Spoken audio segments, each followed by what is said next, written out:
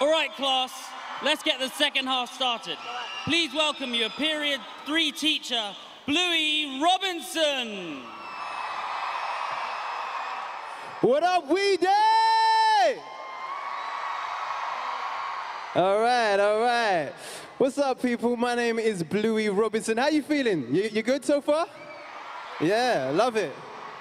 All right, now I'm gonna be your teacher for period three, and I want good students, all right? I didn't get dressed up for nothing, all right? Now, um, our topic is social empowerment, and I wanna start this with something we can probably all relate to. All right, so it's lunchtime, and you're heading out to the canteen. But the second you walk in, you realize there's no table waiting for you to join. You look around the room searching for a friendly face in the crowd, a mate, someone you know. Yeah. but you don't see anyone. And then you get that little feeling, you know, that little sensation starts out. Where am I gonna sit? I don't know anyone. You feel nervous, self-conscious, rejected. All right, so let's see a show of hands if you've ever felt that sort of exclusion before. I know I have. Yeah? Don't be shy. We're all here together. All right, now, um, when I moved, when I was young, I moved from North London to a community that, let's say, didn't really understand Caribbean culture so much. Shout, shout. What's up? And um, all of a sudden, I kind of, I stood out. You know what I mean? I became a bit of a target. It's sad, but um, you know, my hair and everything, I used to wear a hat to try and, you know, fit in or whatever. Kids would whisper, you know, chase me, try to pull my hat off, that kind of thing. And it, it, they thought it was funny, but, you know, it, sometimes those things kind of affect you, you know? And we all know what it feels like to be singled out. And while it's hard and unfair, for most of us, it doesn't really last that long. But for some people, it feels like a lifetime. For Liam Hackett, it wasn't one lunch or one term that he felt rejected. It was every single day for 10 years. It started when he was really young. Other boys noticed that he wasn't really into football that much. They started teasing him, calling him a girl, you know, like it's an insult, that sort of thing.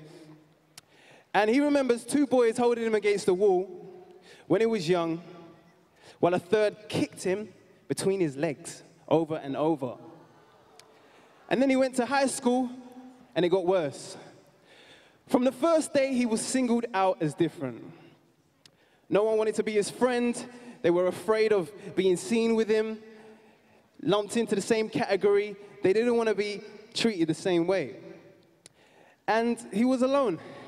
And eventually, that sort of feeling takes a toll on a person.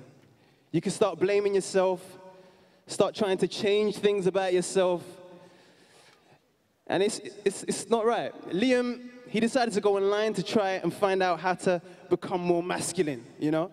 How to fit in, how to start fancying girls and all the kind of stuff you, you think you're supposed to do, you know? Only that's not really how it works. It would be like waking up one day and just deciding you're gonna be taller. It doesn't work like that. Trust me, I know. Five foot nine good love. All right. now, whether, whether you like girls or boys, how tall you are, where you come from, there are certain things we just can't change. And we shouldn't have to. I was singled out because of the way I looked, but there's nothing wrong with being black or gay or from another country for being too tall, being too short, too anything. Yeah. For being into poetry, not into poetry enough. For not having a phone, not being on Facebook, or having spots. I really want you to hear this all loud and clear that people picking on you for being different isn't right. There's nothing wrong with you. Understand me when I say that. There is nothing wrong with you. yeah. That's right. Now, uh, for Liam, even though he tried to change himself, things just got worse. The bullies got meaner and the attacks more violent. One day he was beaten so badly that he was sent to the hospital. And so eventually, something happened. After trying to change himself, to hide, to shrink, Liam found his voice. He didn't want to feel like a victim anymore. So he began posting his stories online, sharing his experiences. And to his surprise, he found out a lot of people who wanted to do the same.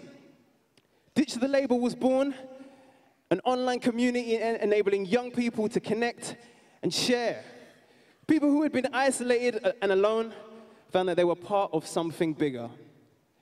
People always say that bullying is just a part of growing up. But Liam knew that it doesn't have to be that way.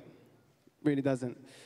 From a small community on MySpace, yeah, it was a while ago, um, to a network of tens of thousands across the UK, Liam turned his experiences into a movement of young people helping each other.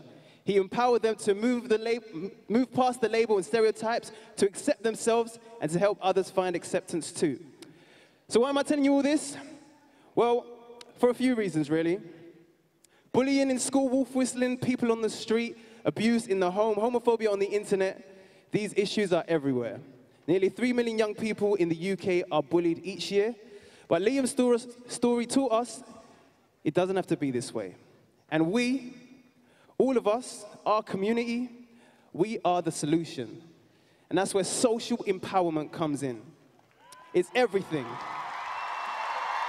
From your after school programs to local organizations like the Trussell Trust, Shelter, and Age UK, these sort of groups exist to create safe spaces and provide a sense of belonging for each of us. They empower people, turning victims into agents of change. Like many of you, I'm running out of time here. like many of you, I grew up in a single parent household. My mum raised me and my three sisters all by herself, and it couldn't have been easy for her.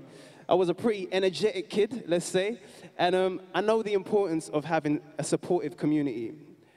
It can be the difference between standing here on this We Day stage, raising your hand in class, and feeling like your life has value. This is social empowerment. This is period three. And to start us on our journey, we're going to hear from a world class actor, ladies and gentlemen.